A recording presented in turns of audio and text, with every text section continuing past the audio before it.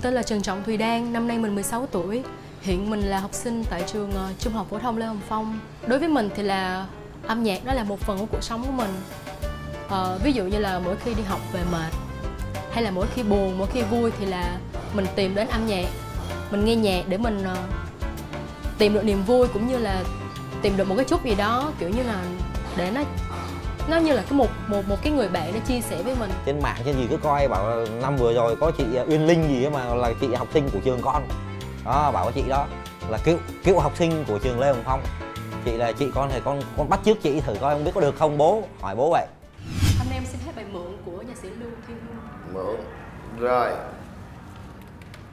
Mượn một ánh mắt vài giây cho tôi cảm giác mượn một đôi vai để nghỉ ngơi khi mệt quá. Kìa mái tóc xanh còn đang buông hờ mượn chuyện lùa cong. Kìa vẫn nét môi nhạt son mượn chiếc hôn ai. Ai vừa thức dậy vẫn còn vẹn nguyên giấc mơ. Xa dần những ngày nắng đẹp trời ngát xanh. Ai vừa thức dậy vẫn còn một thân nhuộm tối đen. Trái tim lại theo nhịp bấy lâu à, em có cái giọng khá là tốt khá là già dặn so với tuổi. Nhưng mà chưa có kiểm soát được cái giọng của mình. Thứ hai là hát sai nhạc sai nốt. Nó run quá. Là em phải về rèn luyện thêm. Cái giọng của em có thể phát triển tốt. Anh thì chưa chọn. 16 tuổi mà hát vậy thì rất là tốt rồi.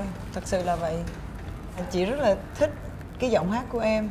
Với cái độ tuổi của em mà em hát như vậy cũng rất rất là là là tốt. Chị sẽ đồng ý cho em đi tiếp. Và phần quyết định là của anh Dũng. À, với anh thì anh nghĩ em vẫn còn non à, cho nên Mà- anh nghĩ là em cần phải luyện tập thêm. Mà cái nơi tốt nhất là ở vòng sau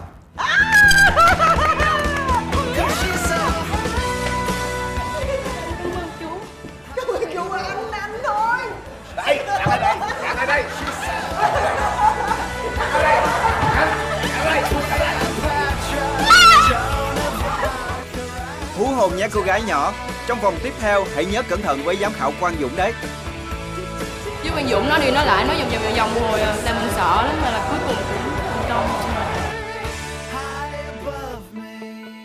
mình hứa sẽ quyết tâm hết sức để có thể làm được cái khả năng đúng với lại cái thực lực của mình.